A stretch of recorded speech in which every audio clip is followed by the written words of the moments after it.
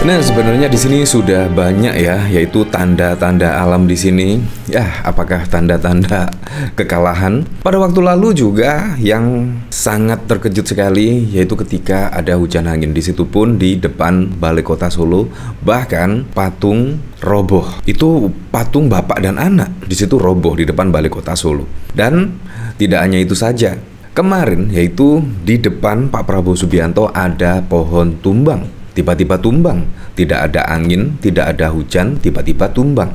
Nah, di situ memang kode apa itu ya? Kok tiba-tiba tidak ada angin, tidak ada hujan, kok bisa roboh?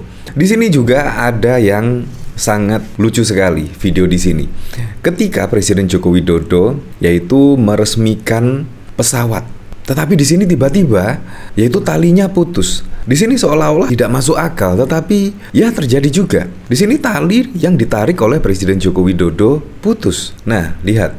Satu, dua, tiga. Hmm. Lihat. Putus. Hmm. Di sini memang cukup mengejutkan. Nah, di sini bahkan juga dikomentari oleh Akitul Lalit. Wah, makin banyak tanda-tanda alam bermunculan. Wah, ya cocok logi lagi ya, cocok logi. Nah, dari sini bahkan pada waktu lalu ya, di sini juga pada waktu lalu memang sangat heboh sekali gara-gara gimmick dari Gibran Raka Bumi Raka. Ya terkesan meledek lah meledek dari Pak Mahfud MD padahal juga Pak Mahfud MD itu orang yang lebih tua. Gelar pendidikannya juga seambrek tetapi gimmick-gimmick Gibran pada waktu debat cawapres menurut saya tidak perlu terjadi. Akhirnya pun membuat Pak Mahfud MD pun ya tidak mau menjawab pertanyaan dari Gibran Raka Buming Raka karena dianggap receh jawaban-jawaban tersebut. Masa sih sekelas Pak Mahfud MD mau meladeni pertanyaan-pertanyaan yang seperti itu? Jadi sangat lucu sekali. Nah, gara-gara hal tersebut pun Pak Mahfud MD mengatakan tidak mau menjawab hal yang receh dan juga ngawur. Di sini yang lucu lagi yaitu Mahfud MD dilaporkan ke Bawaslu gegara sebut pertanyaan Gibran receh. Ya memang receh kalau menurut saya ya. Di situ bahkan juga langsung pertanyaan tidak ada latar belakang pertanyaan sama sekali. Siapa pun pasti juga akan kesulitan menjawabnya dan menurut saya itu adalah pertanyaan jebakan di situ. Nah, dan respon dari Pak Mahfud MD ketika dilaporkan di sini sangat mengejutkan sekali respon dari Pak Mahfud MD. Saya tidak peduli dilaporkan, saya tidak tahu laporannya dan saya tidak ingin tahu. Sudah banyak yang melaporkan, tapi saya tidak ingin tahu semuanya mental. Yang ini pun saya tidak ingin tahu apa yang dilaporkan dari urusan itu. Silakan lapor ke Bawaslu. Nah, di situ juga sungguh aneh sekali kalau menurut saya. Apa-apa dilaporkan. Bahkan Pak Mahfud MD itu tidak satu kali dua kali dilaporkan. Bahkan yang kemarin pose tiga jari bersama pilot siapa itu itu juga dilaporkan.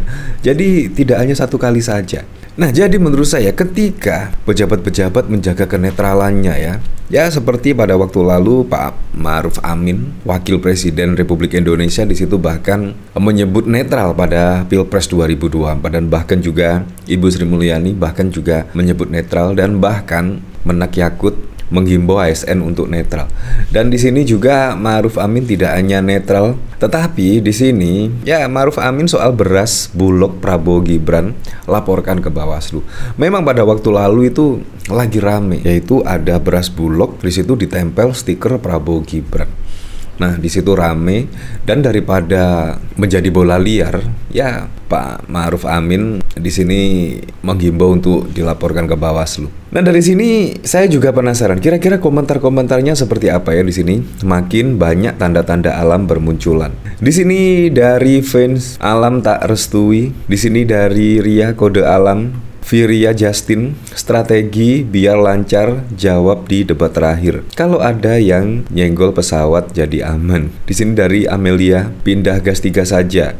Pak Jokowi sudah nggak menarik hati lagi, apalagi anaknya. Belimbing sayur KPPS. Di sini dari pendekar syair masih bisa dipergunakan. Wah kakak, semua tanda alam Lupa ya Ki, waktu di Solo kemarin, para kesatria bertumbangan, sedang Punakawan berdiri di bawah beringin sementara Jokowi simbolnya Punakawan bukan kesatria Pandawa tapi tapi karena mau buat simbol alam semua dibenarkan. Tanda-tanda alam, patung Pandawa di Balkot Solo jatuh pohon besar di depan Oma Wowo ambruk, ban mobil presiden bocor sekarang, pita putus bentar lagi. Ya, seperti itulah. Iya, bahkan kemarin ada pemberitaan yaitu mobil ban mobil dari Presiden Joko Widodo itu bahkan bocor atau gimana. Tetapi memang pada waktu lalu ada video yang ramai sekali diperbincangkan yaitu Presiden Joko Widodo berjalan kaki dan di situ pas pampres tim keamanan di situ terlihat mengganti ban dan lain sebagainya.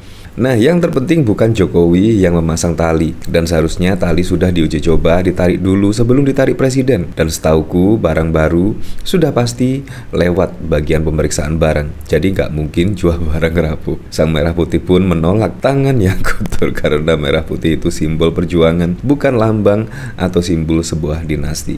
Nah, dari sini bahkan ada momen yang menarik ya. Di sini ketika Ganjar Pranowo berada di NTT dan bahkan sambutannya pun sangat luar biasa sekali. Ya, semakin ke sini, semakin ke sini mendekati Pilpres 2024, sambutan terhadap Ganjar Pranowo dan bahkan tidak hanya Ganjar Pranowo saja, Ibu Siti Atiko, Pak Mahfud MD di situ juga sambutannya sangat luar biasa sekali. Apakah ini juga pertanda ya? Pertanda ada kemenangan di situ. Nah, seperti ini video dari Pak Ganjar Pranowo. Nah, di sini memang sangat meriah sekali.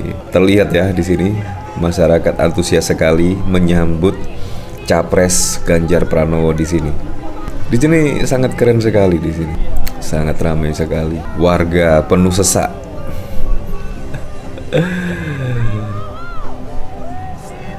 Nah, ya sebenarnya seperti inilah. Jadi ketika Pak Ganjar yaitu datang membawa kegembiraan, membawa keceriaan. Jadi tidak tegang lah. Di sini jadi sangat antusias sekali. Warga menyambut padat sekali di sini. Ya semoga sajalah itu pada Pilpres 2024 mendatang ya semoga saja berjalan dua putaran dan semoga saja setelah dua putaran bisa dimenangkan oleh pasangan 03 ya semoga saja lah kita berharap seperti itu nah dari sini Mahfud MD dilaporkan ke Bawaslu gara sebut pertanyaan Gibran receh Capres nomor urut 3, Mahfud MD dilaporkan ke Bawaslu oleh Advokat Pengawas Pemilu Awaslu. Mahfud disebut melakukan penghinaan terhadap Cawapres nomor urut 2, Gibran Raka, dalam debat keempat Pilpres 2024 kemarin. Dilansir Detik News, penghinaan itu berupa pernyataan Mahfud yang menyebut pertanyaan Gibran receh dan menolak untuk menjawabnya. Hal itu disampaikan oleh Ketua Awaslu Muhammad Mualimin. Kami dari Avokat Pengawas Pemilu dalam hal ini melaporkan Capres 03 Mahfud MD yang di dalam debatnya tanggal 21 Januari kemarin. Ya seperti itulah apa pun itu untuk Pilpres 2024 mendatang semoga saja berjalan dengan aman, berjalan dengan lancar dan yang paling penting berjalan dengan jujur dan juga adil.